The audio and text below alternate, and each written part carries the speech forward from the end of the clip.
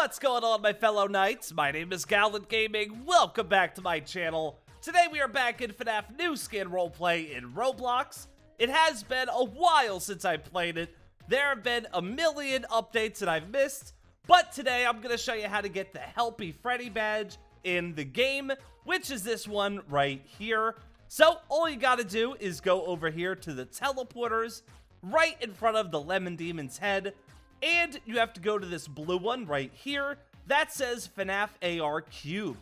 Step on it, you'll be teleported to this weird blue square grid room, and then just go over and touch the red hat, and boom, the Helpy Freddy badge is yours.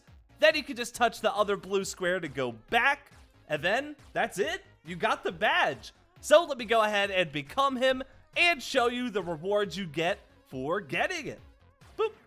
Oh, hey, there we go. Let's stay out here where it's bright. So, uh, we have a bunch of abilities, apparently. Here's the first one. Hopping around, all happy, very nice. Uh, we have the second one. Does a little spin like a helicopter. We have three. Oh, is he crying? Oh, don't cry, Helpy. It's okay. Number four. Very nice. A jump scare. Number five. Oh, Oh, what? Oh, his head just spins around. And then number six.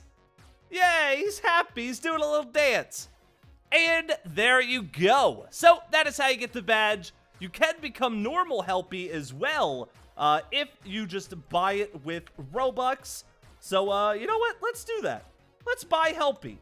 There we go. Boom, we got Helpy. So let me reset and become it. And let me see that as well. I'm assuming the abilities, the animations are going to be the same, but you, you never know.